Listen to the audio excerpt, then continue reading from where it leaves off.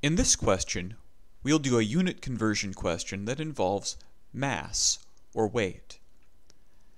Let's imagine we are buying a container of 2.5 pounds of chicken. Question A asks us to convert those pounds to kilograms. So let's begin by starting with the 2.5 pounds we were given. We will multiply by a fraction to change to kilograms. We place what we need on the top of this fraction, that's kilograms, and on the bottom, let's place what we already have, pounds. Now we'll go to a search engine and look for a conversion from pounds and kilograms. Let's enter 1 kilogram to pounds. Our search engine says that 1 kilogram is the same as 2.20462 pounds. I'll just use 2.2 for this question. So, next to kilograms, we place the number 1. And next to pounds, we place 2.2. Now let's try entering this into Excel.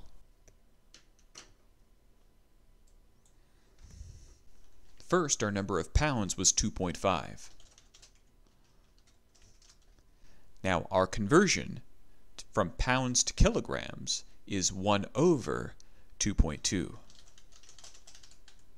We will begin by saying equals 1, press the slash key to divide, and say 2.2. In order to complete this conversion, our new kilograms will equal to those two numbers we entered in B1 and B2 multiplied together.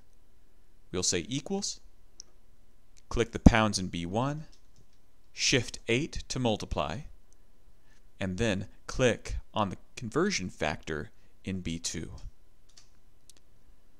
So our new kilograms are 1.136364. However, the question asked for us to change this to two decimal places. So let's click the button in the number section that says decrease decimal. Let's click this until we only see two decimal places. So the answer we'll record is 1.14. Let's also note that we have kilograms as well. In part B, they ask us, how many of these would you have to buy to have 5 kilograms of chicken. Let's begin with that 5 kilograms. In order to get the number of bags to buy, we take that 5 kilograms and divide it by the 1.14 kilograms we just found. Let's go to Excel to do this calculation. Let's remind ourselves our kilograms needed was 5. Therefore, our number of bags will equal the kilograms needed in B5 divided by the kilograms per bag that we found in B3. So the number of bags we need to buy is 4.4. However, at a store they don't let you buy 0.4 bags. It's better just to go ahead and buy extra chicken.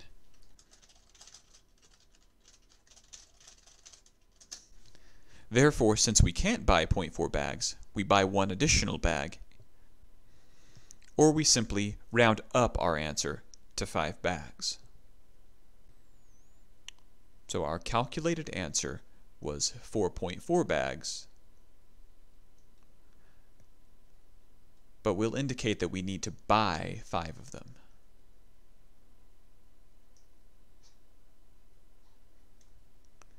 Thank you for watching. We'll see you again soon.